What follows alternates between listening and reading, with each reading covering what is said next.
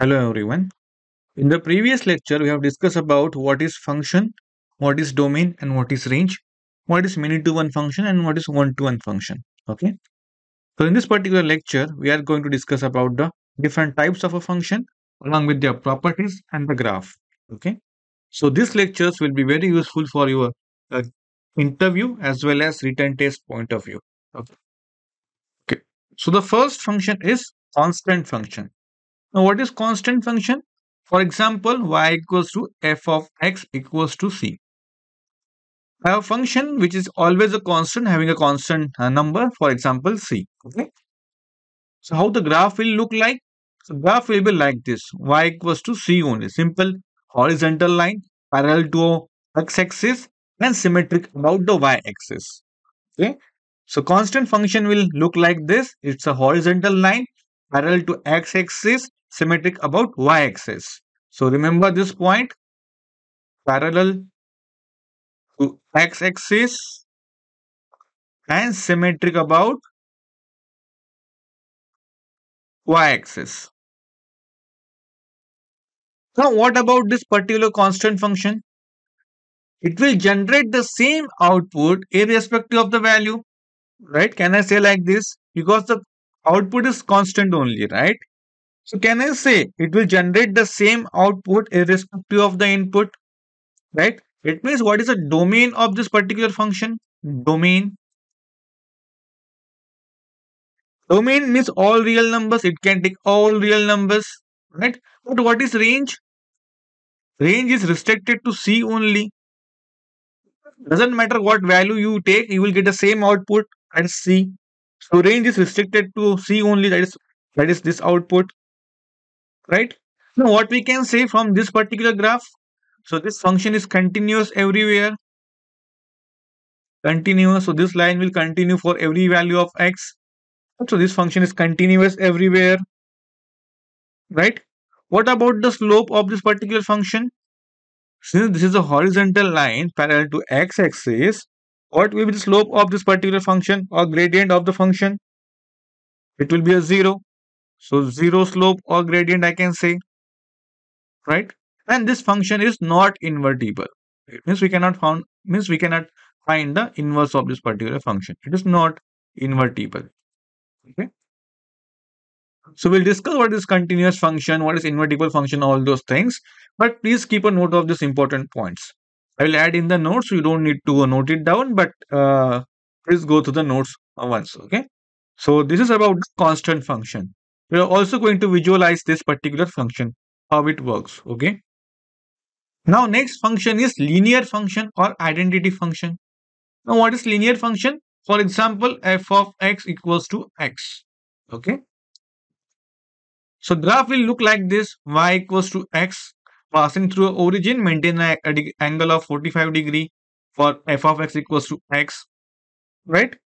I can generalize this particular expression as like this only, like this also, f of x equals to ax plus b, right? So this, in this particular function, a is 1 and b is 0. So I can write this function as like this also. This is also linear function, it is ax plus b. But what is this? This is basically equation of a line, equation of straight line, right? That is y equals to mx plus c where m is the slope and c is the y-intercept. So if you compare these two equation, I can say a is basically a m, which is basically a slope of a slope of a line, and c is and b is basically a c, which is a y-intercept. Now what is y-intercept here?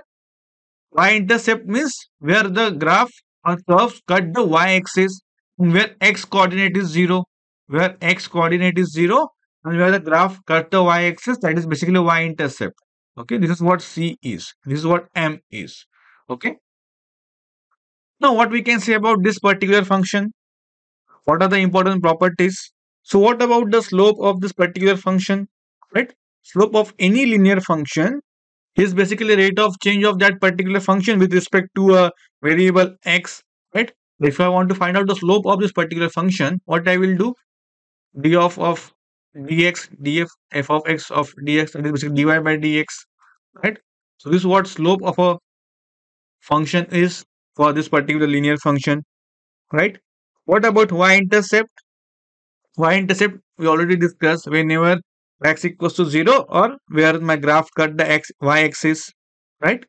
And where my graph cuts the y-axis, that is basically a y-intercept. Now what is domain of this particular function? What is domain? What is domain? So it can take all real numbers. It can be all real numbers. Now what about the range? What about the range of this linear function? So it depends on value of it depends on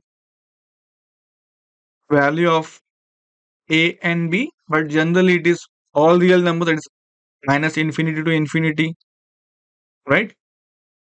So we'll discuss how this graph will vary if I change the value of a or value of b or both the value of a and b. So we are going to visualize how this graph is going to change if I change the value of a or b, right? Now just one important point regarding this linear function. Now what is parallel lines and what is perpendicular line? Let's revise that also. So what is parallel lines? Lines are having the same slope. Lines are having same slope. That is basically a parallel line. What about perpendicular line? Perpendicular line the slope that are negative reciprocal of each other means if I say I have a two lines, for example, y equals to mx plus c, like m1 c1, and for example, I am having a another line m2x plus c2. So if I want to, if I say these two lines are perpendicular, then what I can say m1 into m2 is basically a minus 1, right? It means that so these slopes are the negative reciprocal of each other. And for parallel lines, m1 must be equals to m2. For two lines are parallel when their slopes are equal. And two lines are perpendicular when the product is minus 1. Okay, so remember these two important point as well. Okay, so this about the linear function and this is about the constant function. Okay, now let's visualize this uh, both the functions. Okay, now first we'll discuss about the constant function. So if I put y equals to 3, the graph will look like this. So line passing through a y equals to 3. That is horizontal line parallel to x-axis and symmetric about the y-axis. Right? This is what uh, y equals to 3 graph will look like. Now if I just change this values, value of 3, right? For example, I'm just increasing the value of 3 towards higher side like 3, 4, 5 like this. So you can see this graph, this green line is shifting upward, right? So if I just keep changing the value of uh, y equals to 5, 6, 7 like that, the graph will shift up upwards, okay? So what about if I just reduce the value of y? For example, 0 or minus 1. So you can see the graph will go downwards, okay? So simple thing, y equals to 4, it's y will be drawn like this when y equals to 4, like positive 4 here when I say y equals to minus 4, so it will be graph will be downward in the negative y direction. That is basically a minus 4 like this. Okay. So simple function, that is constant function. Okay. Now let's discuss about the linear function that is y equals to x. So when I say y equal to x, so graph will look like this. A line passing through a origin at angle of 45 degree, right? So just generalize this as ax plus b. So let's discuss about first ax only. Now what will happen if I just change the value of a? So as of now a equals to 1. It means y equals to x. So line passing through the origin. That is for sure. But, but the angle of, of the slope of 45 degree. What if I change the value of a? What will happen? So if I increase the value of a, so here you can see that particular line is going towards the y-axis, right? Here you can see I am simply increasing the slope of this particular function and here you can see the effect of that. Okay. What about I decrease the value of a? Here you can see. So if I just reduce, so here you can see. Now if I just change uh, to a negative value, the graph is looking like this. Okay. For example, minus 1. Like this, right? Minus 1. So it will look like this. Right? So this what y equals to ax. So by changing the value of x, you can see how my graph is getting varied. Okay. Here so this is basically slope. if I just change slope to negative direction, so this will the effect of the graph. So this will happen with the graph. Okay. Now let's add one more uh, here that is y equals to ax plus b now. Now let's see what is the effect of b. So let's fix a first. Okay, I am fixing a equals to 1 only. Okay, so let's fix a equals to 1 for example. Now I want to change the value of b. So first initially value of b is 0. Okay, so this graph will be for when a equals to 1 and b equals to 0.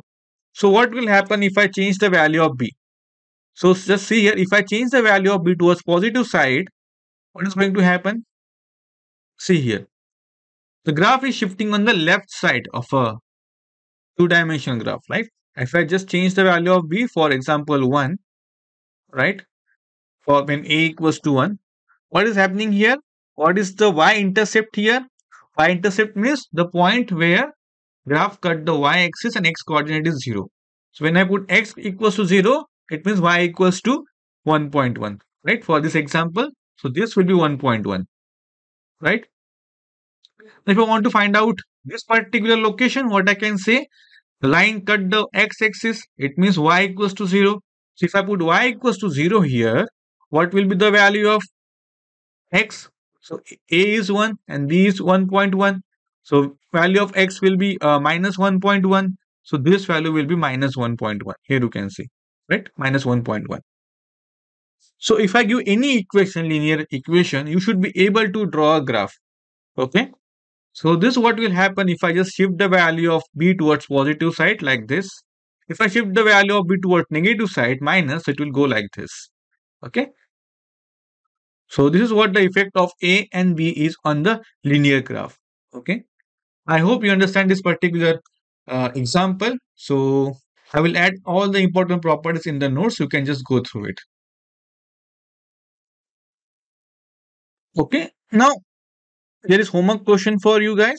So you need to draw a graph of y equals to 3x plus 2. Second one y equals to minus 3x plus 2.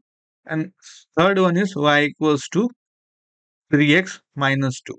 Okay. You need to plot a graph of all those three. Just to uh, take the photos and you can just uh, comment below. Okay. And also y equals to 4x. Okay. So these are the four things uh, you need four graphs you need to draw and practice. Okay. If in exam, in written test or in, in, in your interview, if they ask for such type of questions, so you should be able to draw a graph. Okay. Simple question, but you should know how to draw it. Okay. Thank you.